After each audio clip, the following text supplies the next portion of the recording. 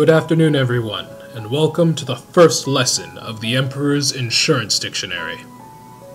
Today we will be going over some of the most basic terms of insurance so that you can understand a bit more about what you sign up for, especially in the world of health insurance. We will be going over deductibles, co-insurance, and co-pays. For the purposes of examples in this video, I will have a health insurance policy with the following benefits. A $50 copay on physician visits, a $100 copay for specialist consultations, a $3,000 deductible, and 80-20 co-insurance. Let us start with the simplest of the three, a copay or copayment. A copayment is a stated amount of cost sharing which must be paid at each time the benefit is taken advantage of by the covered individual, prior to any other cost sharing benefits. That sounds complicated, but in simple terms, it is a fixed amount that is to be paid each time you take advantage of a covered service. As stated in my example policy, the policy I have has a $50 copay for physician visits. That means if I visit a doctor because I am feeling sick, I will have to pay $50 for that consultation before the rest of my coverage kicks in. Next, let us discuss deductibles. Deductibles are a specified amount of money that the policyholder must pay out of pocket before the insurance company will pay any expenses regarding a claim, usually refreshed annually. My example policy has a $3,000 deductible. This means that if I suffer a bad break of my leg and go to the hospital, incurring a $10,000 bill, I will have to pay $3,000 before my insurance benefits kick in. Now, this sounds expensive, and it is, but the good news is that most deductibles are cumulative for a year, and that copayments often count towards satisfying the deductible.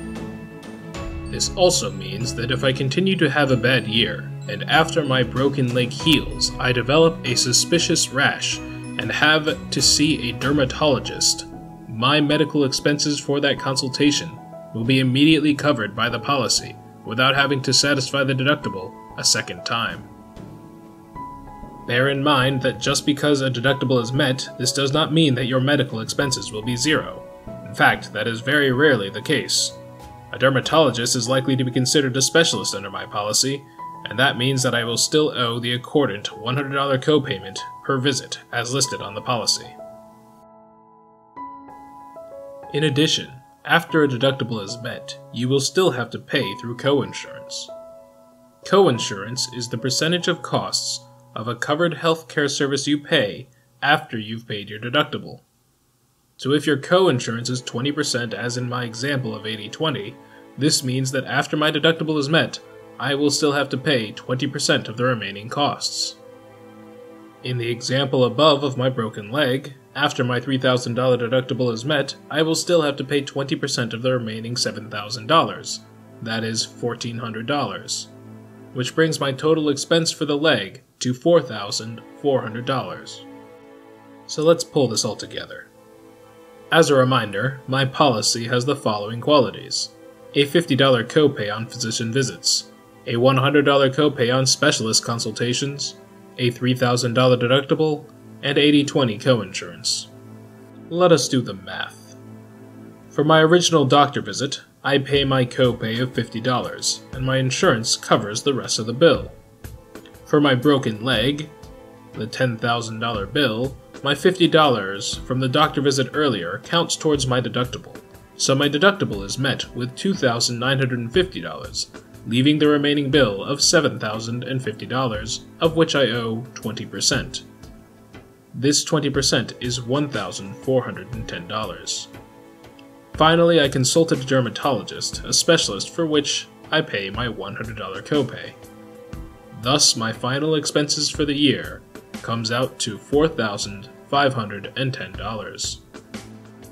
That is a lot of money, but had I been paying out of pocket, I would have been responsible to pay the following $150 for the doctor visit, $10,000 for the hospital, and $200 for my specialist consultation. My total expenses would have been $10,350, thus, having this insurance saved me over $5,000.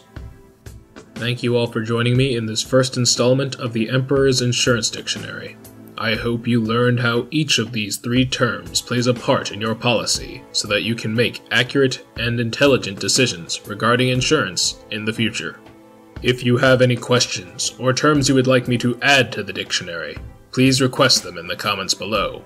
I will be adding to this dictionary weekly. Share this dictionary with anyone you think would appreciate the explanations, and I will see you all next time to help you secure and conquer.